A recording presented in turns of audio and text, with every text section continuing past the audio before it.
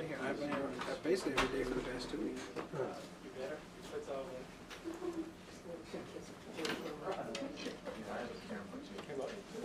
Yeah, I'm gonna, ta- I got that on, on tape.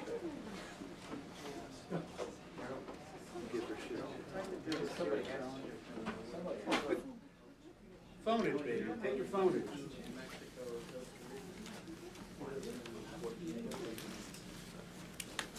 Right. I don't have them. Your wife, tell you what to do. Right.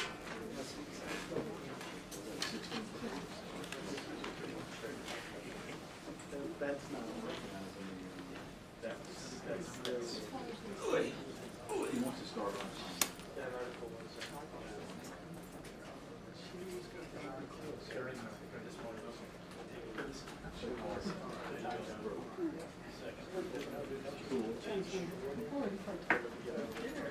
If you kiss me, you have to kiss Bob. it to you. Irving, Irving magazine. To put everything in here is by you. Ooh. Oh, I'm sorry, this is- oh, I don't know, I really don't care. Central Command, how's that? I don't know.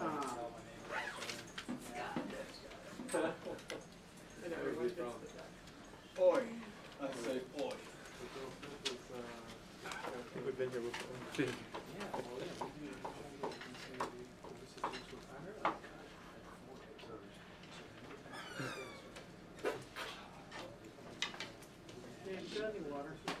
Nope.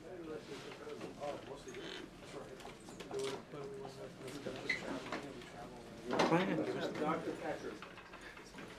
city nuclear. Yeah. What? Don't give us this future operations stuff. Well, can you, are, are elections still going on?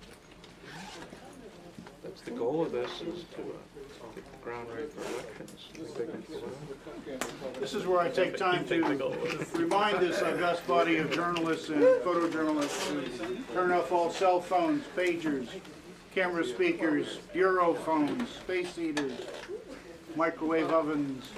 What about a Mr. Megaphone? I need one. That's good, that's good for the August ones, what about the September ones? We have to turn off our tasers?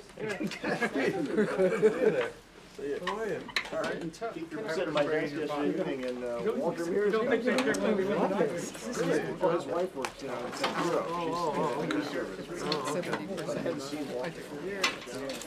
Pretty good. He's uh, retiring and getting ready to go play golf. But there's none around. He's doing it right with the AP, but he's gonna do it from a golf course. I was. Well, I went in the afternoon. I don't know why. Right across from Newark Airport. um, Yeah, oh, yeah.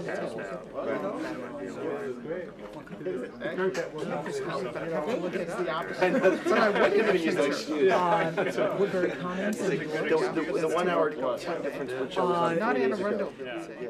No, and the one, Mother, the best I've ever been on, okay? Sawgrass Mills, outside Fort As far as, Lauderdale. as far as my boss is concerned, it like two in the morning. So,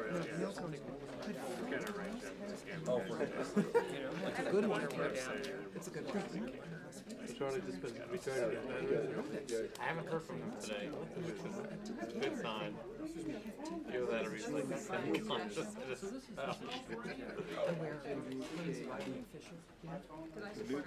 No nuclear gas. Nuclear gas, You see, you saw purple jacket, right? Like, uh, like nuclear weapons. Okay, you go up the turnpike. Um, you go, you go, I'm trying to think the easiest way, the way that I do it. Do you live in Maryland or? Virginia, but I just go, you go up ninety-five. Um, spoken the way that I do it, I, I, I go to Pennsylvania Turnpike, fifteen to Pennsylvania I get off, get off on ninety-five, and then there's, uh, the name uh, of the street is Winter Haven Boulevard. I'm sure they have.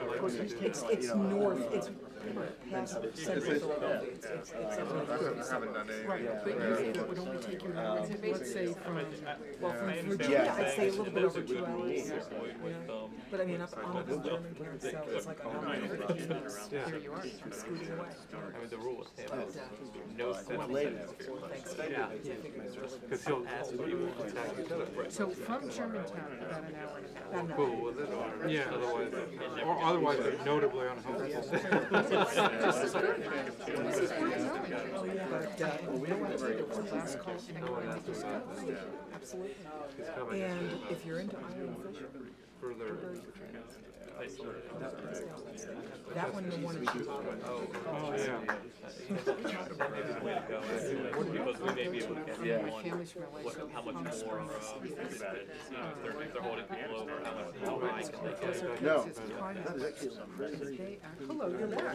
They act- What did you say after We will make adjustments to our tube strike. Yeah. Okay, and then he said it would not be a huge. Okay. Just a, just a twenty percent. Um, but specifically, Okay, it's, it's and that one it. in, No, but I keep, I, I, I've been talking about Okay. oh, what's the name of the town? It's outside of Pittsburgh.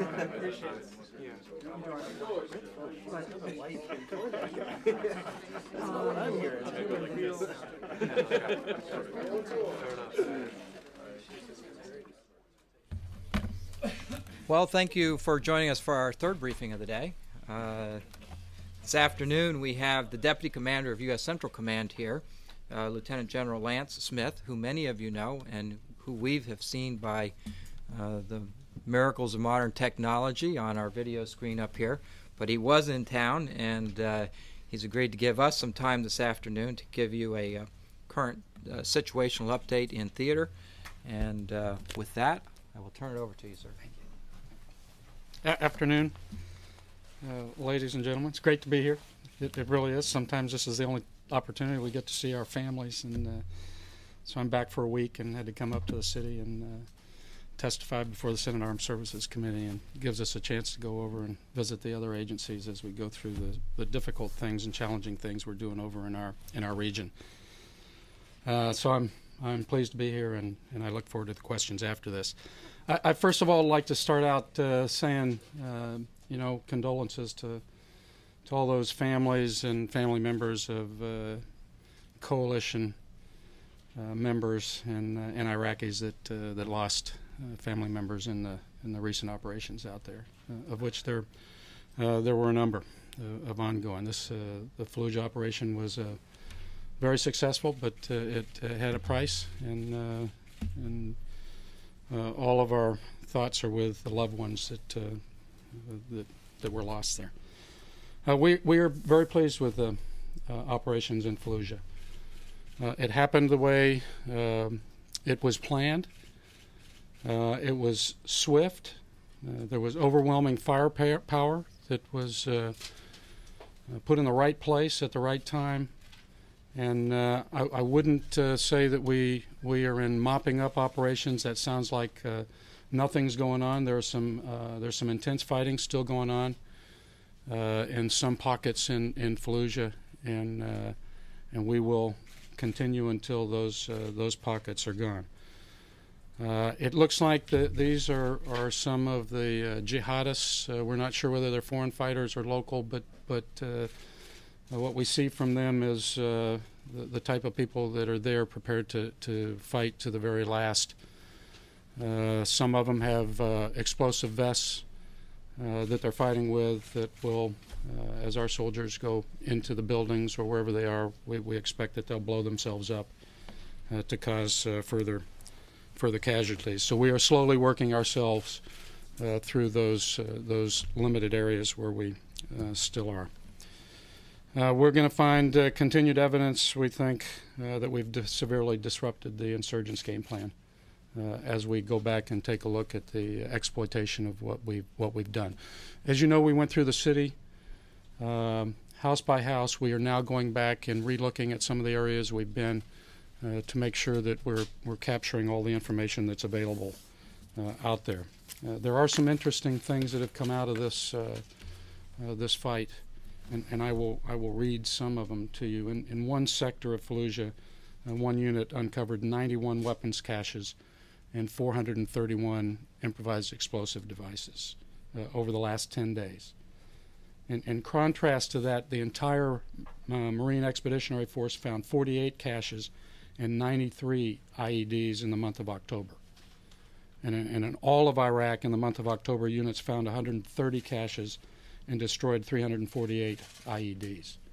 So that is an incredibly significant amount of uh, weapons and IEDs that were found in the city.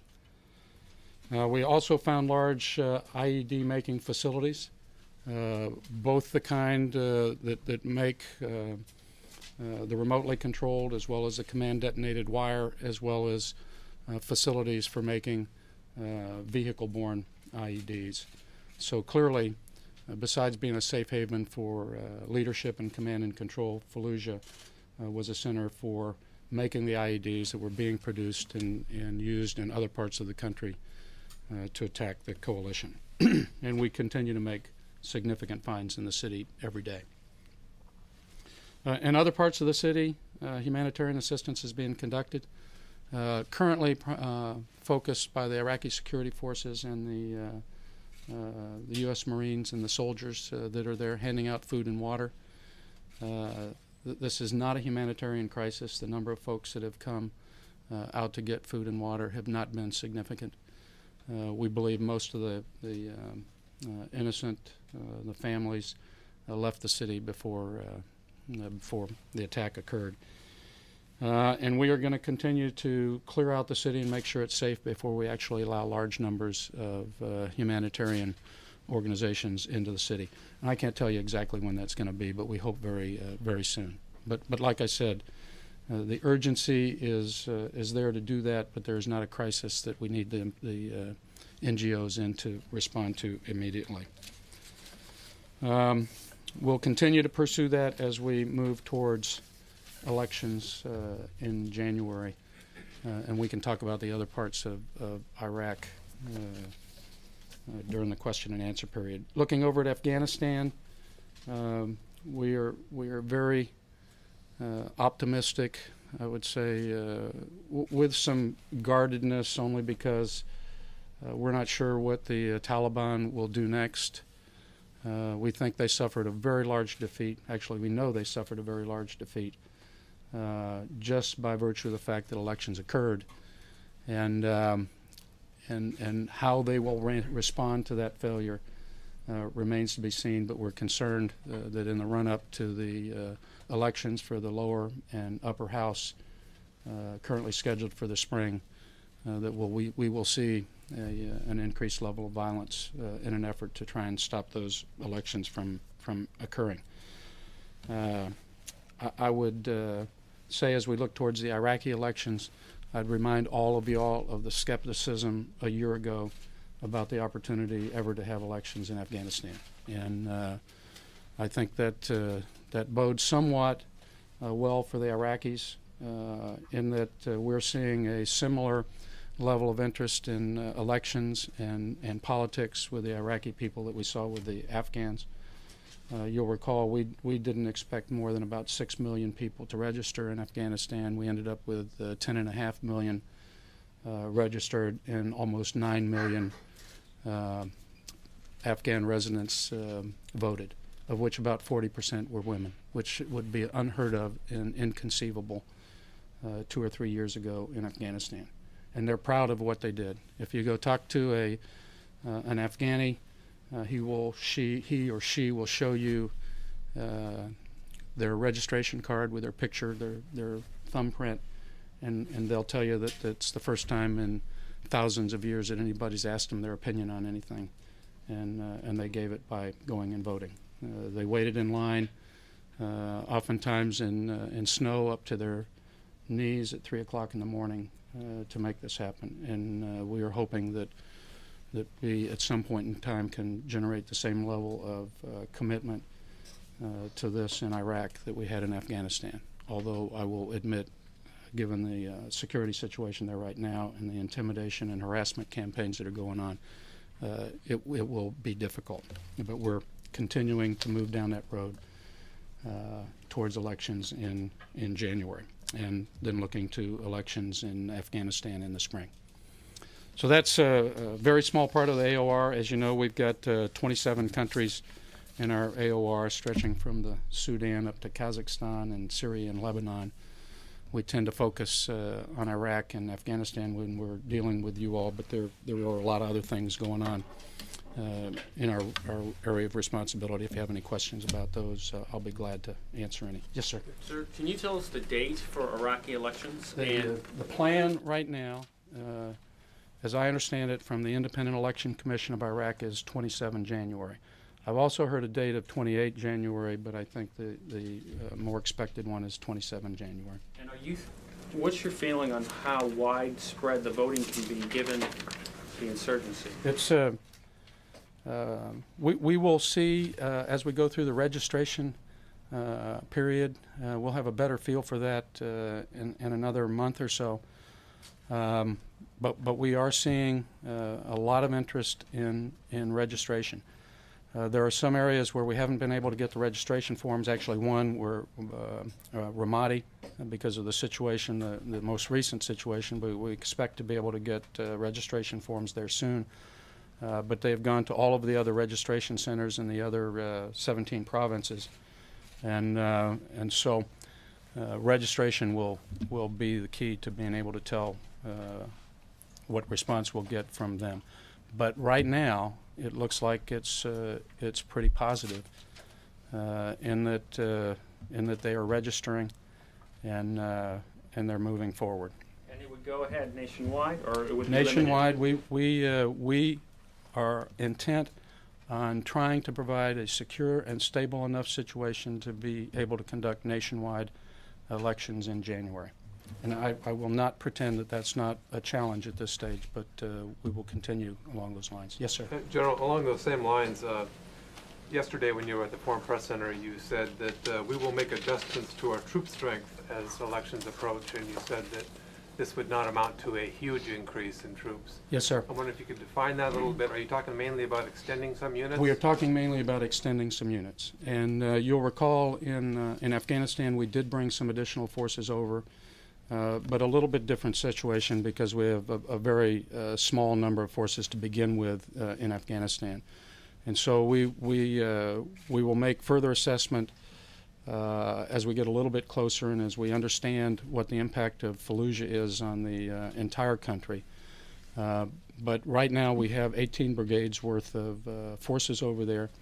Uh, we will expect by using uh, extensions of some some troops that we're only planning on being over there for 10 months, expending, extending them another two months so that they still would be on the ground, you know, about a year uh, and using that to add additional forces over there.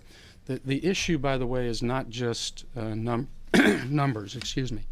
Uh, the issue is really about exter- experienced troops during this period of time of expected increased violence. So you're talking roughly 20 brigades then instead of 18? I'd say we, we, we are looking at, at somewhere between 18 and 19. Uh, you know, it's always difficult. Well, it's always difficult to, to do that because uh, when we count in brigades, we count two Marine Expeditionary Units as uh, as brigades and stuff. So uh, probably an additional brigade's worth of of, uh, of, of forces. But we have not finalized that, and nor have we gotten approval through the Secretary of Defense to uh, to do some of the things that we are anticipating. Right. Would Yes, sir. troops be kept in country beyond a year because of this? I'm sure there are a number who have that question. That would not be our intent, but it but I would not say categorically that uh, that that would be precluded. Uh, If, if we believe the security situation uh, requires that, we will uh, make appropriate recommendation to the secretary and, and, uh, and through our leadership channels. Yes, sir. So you're talking about having uh, a troop level of approximately maybe 145,000 compared to what we have now. Uh, Difficult to say. We've got about 138,000 right now, I think, and, and I think, uh, you know, something in excess of that, uh, wh- whether it would be uh, 145,000 or 141,000 or what, I, I really uh, can't tell you until we get final decisions on, on what we will be allowed to do. Have you also ruled out the possibility of having, uh, uh, like in Afghanistan, where they brought in 1,100 uh, We- we have not- Airborne? Have you? Uh, We have not ruled that out. We have not ruled out using our uh, strategic reserve forces, nor have we ruled out uh, calling in for our uh, division ready brigade or a force within that. Uh, but again, I think too early to uh, uh, to to try and decide that until we really see what's happening with the after in the aftermath of Fallujah. Yes, ma'am. Um, post Fallujah now, can you give us a more thorough assessment of how you see the insurgency across Iraq? What the impact of Fallujah has been on the insurgency, especially since the belief, I guess, was much of the insurgency in Fallujah was jihadists, Zarqawi uh, loyalists, and you have said in the past you believe in other parts of the country it's more former regime loyalists. Walk us across. Well, let me Iraq. let me try and characterize what we really thought was uh, was in Fallujah and what what Fallujah was being uh, used for. Uh, clearly, it was a safe haven for uh, Zarqawi and and his uh, his group, um, which was not, by the way, all foreign fighters. There was some element of, of uh, Zarqawi's outfit that were foreign fighters, but also a number that, that were Iraqis, and he intentionally recruited Iraqis so he would have a, a more significant voice within uh, within Iraq. Uh, but but Fallujah was also the center of uh, the former regime element effort uh, to destabilize uh, Iraq. Uh, that that, as you know, uh, was always been a a stronghold of, of Ba'athist activism. Um, and and these IED factories and and uh, and those sorts of things are, are not what we would say were necessarily part of the Zarqawi network, but more related to the former regime uh, elements. And so uh, this also operated as a command and control uh, facility, and we have seen seen that within the city, uh, where uh, they built these IEDs. They uh, they, they had fighters. They had pretty pretty good freedom of movement, and from Fallujah they would uh, stage out and go into other cities and other areas uh, to attack uh, not just coalition forces but attack Iraqis, and um, and so we believe the impact of Fallujah is to have taken away a very significant safe haven, uh, to have uh, taken away their ability to uh, command and control from a central location. Uh, that's not to say that, uh, that, that they still uh, can't wor- work some level of coordination, but, but we've taken their command center away. And we have killed a lot of, uh, a lot of insurgents, some terrorists of the Zarqawi, too early to tell, but certainly a, a, very large number of former regime element types. Um, and and you know we will always we will debate the numbers for a while as to what they really mean. But if if uh, you know, oftentimes if uh, if we if the Marines say that they've killed uh, 1,200 to 1,600 folks, you you you know that's what they think, and and oftentimes you find out that the wounded are considerably larger than that, and the number killed uh, are larger than that, just because we're very conservative in our estimations. So do you agree with General Sattler yesterday when he said the back of the insurgency is broken? I. I uh, General Sattler is a, a, great commander, and he is focused on uh, on Fallujah, and uh, did uh, spectacular things in there. Uh, I think it's too early for me to say, uh, given the, the broad perspective of Iraq, that the uh, that the backbone of the insurgency is broken. We have certainly had a significant impact on the insurgency, but we know that the important part is going to be to follow on with this success and not allow a safe haven to exist anyplace else, like Ramadi uh, or Baqubah or some of those other cities where we know uh, these folks go. Yes, sir. General, uh, today we saw the leader of a Sunni mosque in Baghdad taken in, a bit of a firefight there. Um, is this the start of uh, an approach to uh, go against uh, the people who are inciting violence and speaking out against the coalition? uh, to, to really more directly deal with these people? I would say, uh, you know, we have always had, even even under the CPA, before the turnover of sovereignty, had a certain level of freedom to do that. That oftentimes we we didn't uh, didn't exercise. I'm talking about the imams and the clerics that, that are out there, uh, really condoning violence and encouraging uh, violence against the coalition. Um, I think this uh, the leadership, Prime Minister Allawi. Uh, President Yawar and the uh, the other members of, of that leadership uh, are prepared to be more aggressive against those that are intent on on inciting wh- whatever it is that they're trying to incite. But but the jihadist violence part uh, that is really uh, the words they use often uh, are aimed at the coalition, but the results of what they're doing are often against the Iraqi people, not the not the coalition. When when you look at the number killed. If I could take you out of Iraq for a 2nd um, and the hunt for bin Laden along the Afghan-Pakistan border, and your assessment of Al Qaeda as an organization, its ability uh, from the top to communicate with the uh, terrorists elsewhere. Uh, we've we've had uh, some good discussions on that today. I spent the afternoon out at uh, out at Langley, and uh, I, I would say, uh, as I mentioned yesterday in the uh, uh, in the in the press briefing, that. Uh, that, that we are in pretty reasonable agreement that it is very, very difficult for bin Laden and Zawahiri and, and his other elements, Faraj, Abu Laith, Hadi al Iraqi, and, and, and, and that group um, to operate uh, efficiently and effective, effectively with a command and control structure. Uh, hence, you end up using uh, very slow means of trying to communicate, uh, whether it's couriers that carry uh, compact discs. Uh, you know, from Pakistan or Afghanistan through Iran or through other countries to to Zarqawi, or whether it's the use of, of television and other things to try and get the word out. Uh, I think it is very, very difficult for them to operate uh, efficiently and effectively. I think that's one of the reasons why we've we focused our attention more recently on, on, on Zarqawi because of his location and his ability to uh, coordinate his efforts. He, he has had a pretty significant uh, effect on, on our operations. Do you think there's communication between Zarqawi and bin Laden? I think there are attempted communications between Zarqawi and bin Laden. Whether or not they've been successful, uh, because of the uh, huge distances involved in those lines of communication, uh, I would say that they probably have not been. But we know uh, for a fact that there are attempted communications uh, between them, and and they would have to, to be conducted over the kinds of lines that I just described. Well, in fact, sir, what you just said was attempted, before you said that, you were talking about couriers carrying CDs from Osama bin Laden to Zarqawi. I shouldn't say Osama bin Laden, but I would certainly say Al Qaeda senior leadership.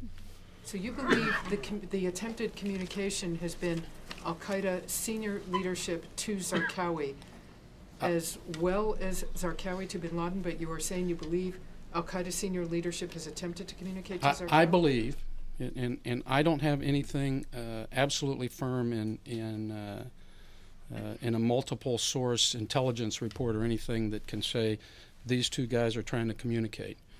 Uh, but but we do have indications that we believe they are uh, trying to communicate, and, and whether it is to congratulate him on on having announced that he wants to be part of Al Qaeda uh, or whether it's to communicate and give him instructions, or what it is, we we don't know. But uh, we do believe uh, that through the process that uh, that they are trying to communicate. Do you believe Zarqawi is still in Iraq? Uh, I believe, I personally believe that Zarqawi is still in Iraq. Yes, ma'am. General, what kinds of specific information has the U.S. military gleaned from the computers and documents seized at this alleged uh, Zarqawi command center? Uh, I can't tell you right now. It's not because I, I won't tell you. Um, it's because I don't know. Uh, we will go through the whole sensitive site exploitation uh, business within Iraq. Uh, initial indications are that it is a fairly significant treasure trove of information. But until you actually uh, get in there and look at the papers, you'll recall uh, after we got Saddam, uh, you know, we didn't really know what we got. And then when we examined the pocket litter and some of the other stuff that was out there, there was a, a certain amount of information that was very useful to us. So we would expect the same. Yes, sir. Can you uh, uh, perhaps, I realize you're still going through that, but perhaps talk about what you think of command and control among the insurgents? I mean, there, we had this, uh, these events in Fallujah and the simultaneous uh, breakouts in other cities. Is this centrally commanded? Is it just random? Uh, I, I wouldn't. Uh, I wouldn't so much as, as say it's uh, it's random, and I wouldn't call it uh, a command and control set either. I think it is uh, more or less broad guidance that says, okay, if they attack Fallujah, then uh, then, and I think we saw some of that in, in Zarqawi's uh, minute uh, long tape. If they attack uh, Fallujah, then we're going to, you know, attack lines of communication, logistics supply into the area, infrastructure, and and and the like. And and then that in turn goes out and and raises uh, the level of violence all across. It, it is also uh, evident from the early days. Uh, I can't think of it specifically, but but you'll recall uh, some of the well, actually, it was in April during the Fallujah the last Fallujah event, you saw some fairly significant events elsewhere in the country, perhaps to relieve the pressure on Fallujah, but but also it it was they they gained some level of confidence because of the stand and the resistance that was in there, and and it's that confidence that allowed them to go out and, and take action. So that that's I, I would not give them credit uh, for a, a robust command and control system, but I would say uh, that there is a certain level of, uh, of talking. I, I want to go back to this uh, senior leadership of Al Qaeda and Zarqawi and make sure what you are saying what you aren't saying. Are you suggesting that there could be some Al Qaeda uh, control, direction, guidance of the Iraqi insurgency? I'm saying that there is a relationship between Al Qaeda senior leadership and Zarqawi. How to characterize that, uh, we don't know yet. Uh, but you'll recall that uh, that when we captured uh, one of the individuals that uh, was trying to um, go back uh, to Pakistan or wherever or Afghanistan, wherever Al Qaeda senior leadership was at the time, that that that uh, CD was characterized as uh, an attempt to communicate uh, between Zarqawi and uh, and Al Qaeda. We think that is those attempts are still continuing. And when he uh, made the announcement that he was a part of Al Qaeda or or a franchise element of Al Qaeda, uh, we we are clearly uh, thinking that that kind of link uh, and communications will will there will be attempts to continue that. But I don't have evidence that says so and so is walking across the border uh, today to try and communicate with Zarqawi. Two-way street, I guess I'm Yes, sir. I, I think Zarqawi communicating with Al Qaeda. Al I, I think again in a very difficult situation that they will try and communicate. Uh, but I but I cannot tell you right now that uh, that Al Qaeda has said this is what we want you to do in Iraq. I don't think they do that anyway. Uh, we don't view Al Qaeda these days as being uh, a director of operations. Uh, or we don't uh, see Al Qaeda senior leadership as being a director of tactical level operations. We see them as offering a large vision and, and guidance out there that says uh, you all need to hold the course and and uh, uh, and attack the coalition and, and attack those members of the uh, those infidels within the government and stuff. So I, I wouldn't characterize it as uh, as giving guidance other than broad uh, philosophy. Yes, ma'am. General, a two-part question. Knowing what you know now about the situation in places like Mosul and Ramadi and Fallujah, what is your reasonable expectation about the likelihood that elections can be held in those cities? And number two, if they can't be held because of instability and lack of security, would the result of an election, in your view, be a legitimate result? The the uh, I would tell you that we are going to do everything in our power to try and make it possible to have elections in January. Um, I think it is, uh, and, and clearly, the Fallujah uh, attack was an effort uh, to try and make sure that that we. We could establish some level of security without them having that safe haven. Uh, we will see how successful we, we were in that. I, I don't believe there will be another uh, safe haven. Uh, but I will tell you that the intimidation campaign that is ongoing is very effective. And um, um, it, it, uh, we, we see it permeate uh, many levels of, uh, of the Iraqi government and the Iraqi security forces. Uh, you're seeing more of it daily as, uh, as we see decapitated bodies in, uh, in Mosul and other places. Um, and it's, it's that part that we have got to be able to, to handle and take that away from them uh, so that people can freely get out uh, with some level of reasonable risk to uh, to vote and not go back and expect their families to be uh, to be killed uh, just because they, they go out and vote. And there's going to take a certain level of courage on the part of the Iraqis, uh, just like there was on the part of the Afghans, Afghanis to go do that.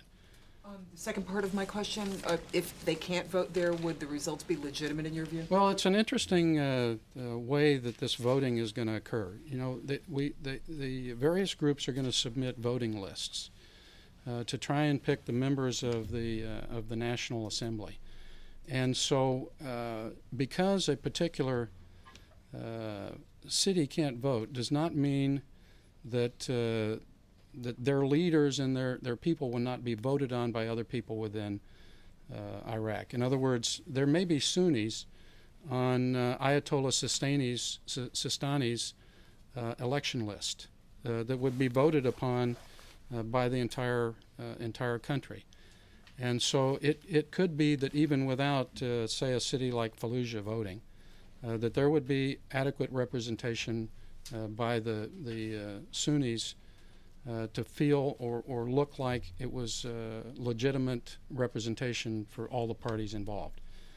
Um, but, but that is not our intent. Our intent clearly is to try and make it possible for everybody to vote uh, in Iraq that wants to vote. And, uh, and that's going to take uh, a lot of effort between now and January to establish security for each of the polling places and, and all of the other things that we had to do in Afghanistan. Uh, and hopefully we'll have the Iraqi security forces uh, in uh, large enough numbers to be able to be to be able to do that. Yes, sir. For a couple more here. General, it's it's been three years from the September 11 attack and uh, Al Qaeda is still uh, working in the in the Arab world and in, especially in Afghanistan and in Iraq. Who do you think is still financing and supporting Al Qaeda? And do you think is any regime in the area in the Gulf or, or in the Arab world is involved in this financing? I don't think that there is any regime in the Arab world that knowingly and intentionally uh, is financing Al Qaeda.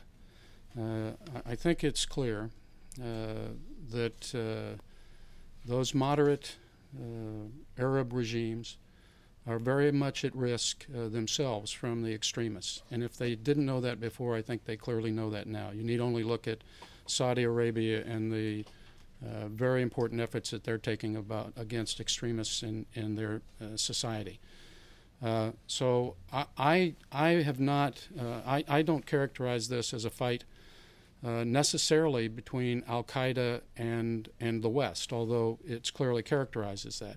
This is also a very large fight within the uh, Muslim community of moderates versus extremists. So, so any regime that would, would take that on and, and support that, I think, puts them, themselves at risk, and I don't think any of them wish to do that.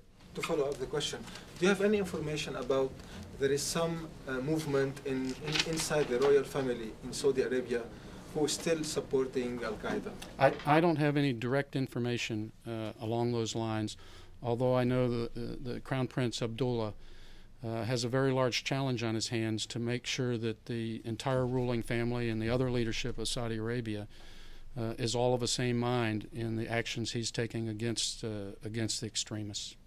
Yes, sir. Let me, let me ask you about another uh, uh, country in your area, that's Iran, Mhm. um, that's in the news this week. Uh, based on the intelligence, the evidence that you look at, um, what is the intent and the capability of Iran to produce a nuclear bomb right now, and and and how far are they along in developing the missiles to, to deliver those? Yeah, I, you've exceeded my technical knowledge on, on this stuff. I mean, actually, I do go in and ask questions to try and explain I, I, my last tour was in Korea, so I have a pretty good understanding of uh, highly enriched uranium and, and what where you need to go to to be able to develop a bomb. But it it also involves a certain amount of miniaturization, miniaturization and the ability to make something small enough to fit on a uh, on a warhead.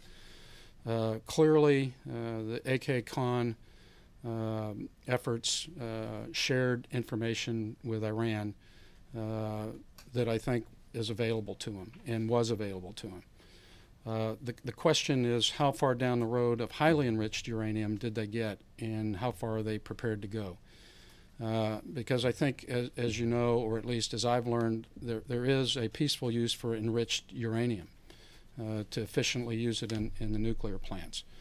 I can't tell you, just like I don't think uh, anybody can categorically uh, say, although there is, uh, there is growing evidence that, that gives us some cause for concern, but I certainly can't say categorically uh, that, that they have gone to the point of highly enriching uranium to be able to put it on, a, on the head of a missile. Now, at the same time, we see a fair amount of uh, missile development going on, uh, looking at extended ranges uh, from missiles that we know have the capability uh, to carry uh, nuclear warheads and chemical warheads and the like. Yes, sir. Uh, the the, uh, uh, the insurgent leaders uh, who left Fallujah and, and other insurgents who left Fallujah, where do they appear to be setting up now? And one of, one of the places where there was most intense uh, fighting other than Fallujah during that period was Mosul. Can you explain a little bit what's, what's sure going can. on there? First of all, I'm I'm not. I mean, there has been a characterization that uh, that all of the insurgent leadership left uh, uh, left Fallujah. I'm not sure that's true. Uh, now, I certainly some did. Uh, I think uh, Zarqawi sort of left his followers in the in the city to fight, and he booked. Um, that that's what I think.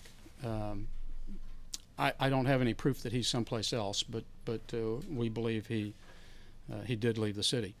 I'm not absolutely convinced that uh, Omar Hadid or Sheikh Janabi uh, or the leader of, uh, I, I forget his name, of Muhammad's ar- army, uh, that those very significant leaders within the insurgent community uh, either um, got out of the city, uh, survived the attacks, or are not still in there fighting with some of this resistance. So I think it's going to take a, a, while before we uh, can really say that the, uh, the, the leadership of the insurgent efforts escaped uh, Fallujah. The the others that uh, that got out, we clearly believe some of them went into Al Ramadi. It's close. there there are have been an increase in violence in Al Ramadi that indicates that some folks slipped in there. Mosul is an interesting place. That, that um, Mosul, uh, the, the, the events that occurred in Mosul do not have to have happened because people left Fallujah and went up there. There were there were a fair amount of uh, people in Fallujah sufficient to be able to uh, to create problems for us. As you know, uh, that is probably the largest area of area of former regime general officers where they retired and and, and live up there. So it, it has been a, a always an area of concern uh, for us. And we had seen activity earlier out in Tal Afar, uh, and, and we've had an increasing level of activity in Mosul before Fallujah. So opportunistic. Uh, I would say, an, an, again, an effort to relieve some of the pressure on uh, on Fallujah and force us to, to move forces and consider Mosul. Now, that has always been characterized uh, incorrectly in my view. We, we never lost Mosul. Uh, what happened was there were there were a certain number of uh, police stations uh, where when uh, when approached, when attacked by a significant number of ACMs uh, or anti-coalition military, that the the police uh, either laid down their arms or, or or left in the in the police stations where the the police stood up and fought. all of them held their own and, and they maintained control of their police station and their, their part of the city. And then when the additional forces uh, went in there, restored uh, those, uh, those police stations that, uh, that had been overrun. So uh, there, there's some 30, 34 police stations in, in Mosul. I, can't tell you exactly how many were overrun, six or nine or, or something like that, and I wouldn't even characterize them necessarily as being overrun uh, were occupied by uh, by the bad guys in some cases because uh, because the police weren't there. There are some other areas like Baqubah, uh, and and clearly I think uh, Baghdad is always a place uh, where where they can escape to in a city that large and find some level of, of sanctuary. But our intent absolutely is to keep the pressure on these guys and not allow them to create another Fallujah any place in Iraq. So just If I could just- did you I have just follow- confirmed kills in Yeah, Fallujah? exactly. Terrorist uh, confirmed Terrorist dead? leaders confirmed. Yeah, letter- I, I do not. We, we have some indications, and you know we get uh, uh, indications from a lot of different sources, uh, that, that there have been some uh, members of the leadership that uh, either didn't make it out uh, or have been wounded uh, or may still be there uh, fighting to the end. Not everybody said, I'm out of here, you guys stick back and fight for me. Sir, could you you. clarify one thing on the, the breaking of the back of the insurgency issue? What evidence would you have to see that's lacking today before you broadly would make the claim that the insurgency's back has been broken?